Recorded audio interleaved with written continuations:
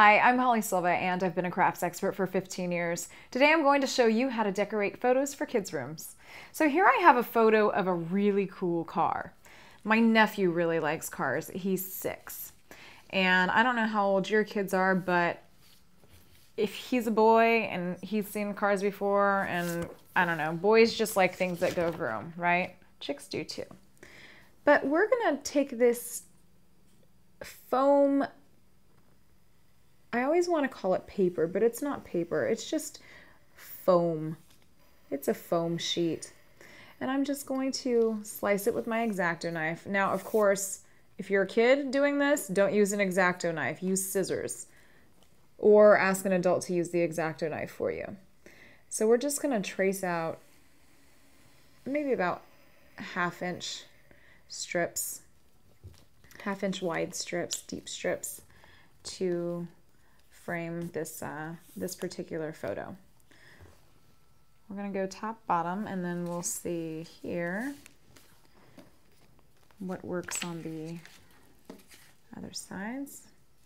So about there. So we'll go a little bit longer so that they will attach to one another.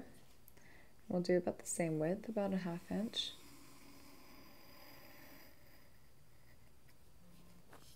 And then we'll do another. then we'll cut it about here.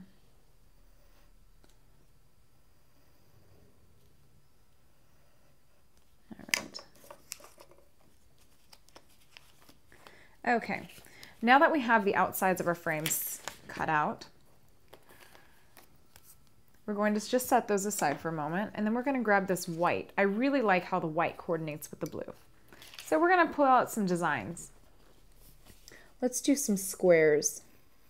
Just very simple. We don't need anything too crazy. Make sure, of course, that you're being safe and that your squares are nice looking.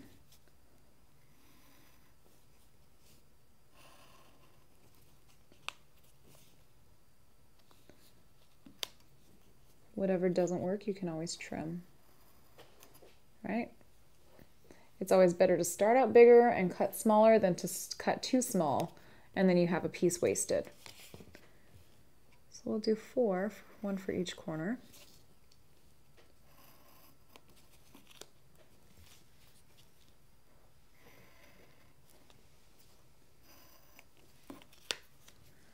Okay, now we'll set all of those things aside.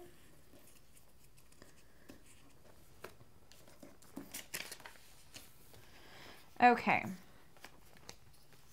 Now we're going to take our frame pieces and our Elmer's glue. And we're going to squeeze our Elmer's glue out. along the outsides of the photo.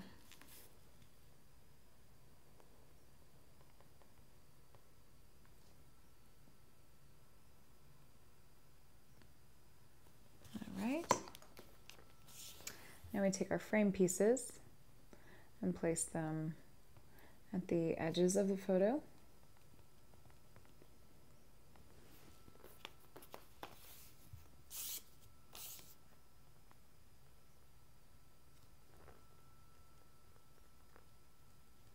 Now Elmer's glue is great because it dries clear and hard.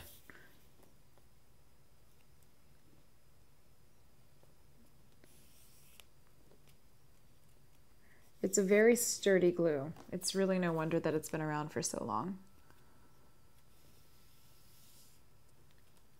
And hey, craft experts recommend it.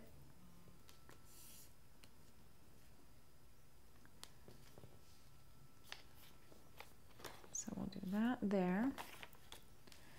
And then we'll take our little pieces. Dab a little bit of glue on each corner. Bit more there. There we go.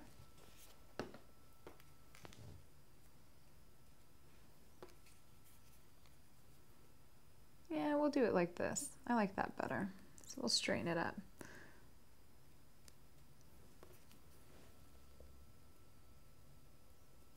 Sometimes it's nice to place things askew, meaning not entirely straight or parallel.